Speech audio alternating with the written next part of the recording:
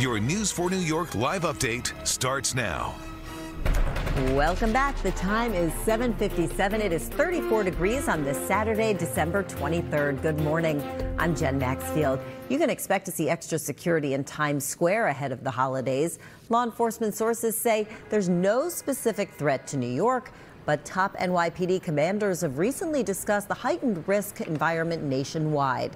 Officials are continuing to deploy extra police at holiday gathering spots, and they're prepping for an even bigger police presence in Times Square for New Year's Eve. We're told a key meeting was held this week about New Year's Eve security.